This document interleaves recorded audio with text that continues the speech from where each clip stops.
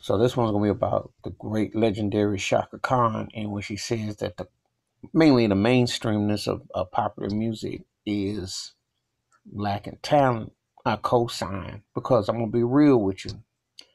Just talking on the mainstream tip. I know everybody talks about NDX and all that. And yeah, you got more choices, but what's going for mainstream stuff, it's embarrassing.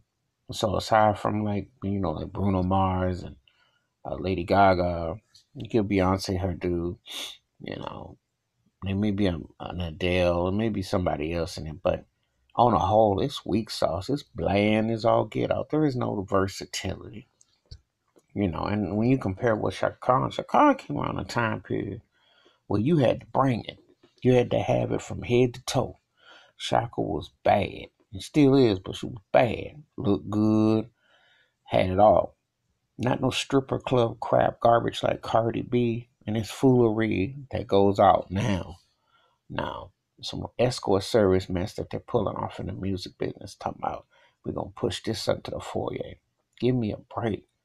You know, Chaka Khan could play them drums, could sing, scat, versatile. I mean, you know, you go from doing uh pop songs and you know, you doing hip hop based songs and jazz and stuff. You get she got crazy runs in her, so she she know what she talking about. You know, it is a lack of talent. I mean, they put that garbage up last week on the Super Bowl. Prune Juice Five, Minutia Five. That garbage was whack. You know, you could find five people at a Popeyes on, on uh, uh, in in the kitchen who could come on and do better than that garbage that they throwing out there. That's what goes for the mainstream. That's just it's just embarrassing. So Chaka Khan, she should be revered. She should be respected. You know, um, so she should be walking around with 20 Grammys and should be in the Rock and Roll Hall of Fame. And she's the truth. And she told the truth about how whack, weak sauce this garbage is that you turn on. I don't even listen to mainstream radio.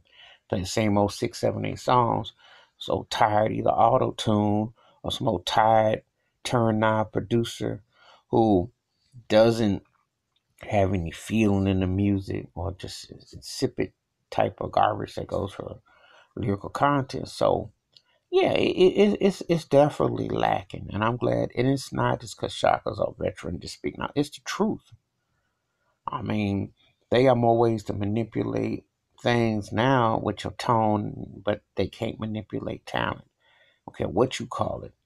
Turkeys is missing in action, and the whack record industry is doing a disservice. So that's my take about Chaka Khan saying that today's music lacks talent. Feel free to leave them comments, hit the subscribe button. I'm out. Peace.